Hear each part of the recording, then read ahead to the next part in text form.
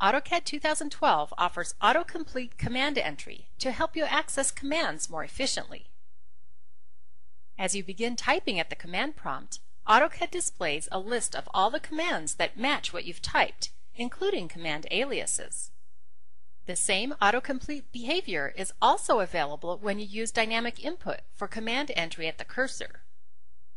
As you continue typing a command name, the list narrows accordingly. You can scroll through the available commands and select the one you want. The next time you begin typing the same characters, AutoCAD automatically appends the remaining characters to match your previous choice. Not only does autocomplete display commands and aliases, it also displays system variables. Options in the right-click menu of the autocomplete list enable you to control the autocomplete behavior.